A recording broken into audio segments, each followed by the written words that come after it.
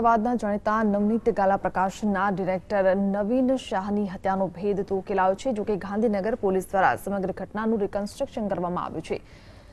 રાજણ ચોકડી પાસે જ્યાં નવીન શાહનું અપહરણ થયું હતું, ત્યાં ગાંધીનગર એલસીબી દ્વારા આરોપીઓને સાથે રાખી સ્થળ પંચનામું કરવામાં આવ્યું હતું અને સાક્ષીઓ ઊભા કરવામાં આવ્યા હતા, જેથી આ કેસમાં સજ્જડ પુરાવા અને સાક્ષીઓ મળી રહે. આરોપીઓએ કબૂલાત કરી છે કે અપહરણ પહેલા એસજી હાઈવે પર જ એક સ્થળ પર મીટિંગ કરવામાં આવી હતી. એ મીટિંગમાં બંકિમ પટેલ અને જિજ્ઞેશ ભાવસાર હતા, જે બાદ જ નવીન શાહને કંપનીના યુનિયન માટે ફોન કરવામાં આવ્યો હતો.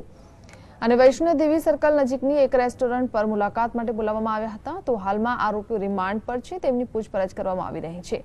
તો આ મામલે વધુ ત્રણ આરોપીઓના નામનો પણ ખુલાસો થયો છે. આ જે ચાર આરોપીઓ છે, એમાંથી જે વ્યક્તિએ નવીનભાઈ શાહને ફોન કરીને બોલાવેલ તે, ત્યારબાદ ટીપ આપવાના જિજ્ઞેશ ભાવસાર તથા અન્ય બે આરોપીઓ છે. જે બે આરોપી છે, ટીપ આપવાવાળા અને ફોન કરીને બોલાવનાર, એ લોકોની સાથે લઈ જઈને અત્યારે નિરમા સ્કૂલની બાજુમાં એ જગ્યા બતાવે છે, ત્યાંથી એ લોકોએ ફોન કરેલા અને અગાઉ મિટિંગ પણ કરેલી.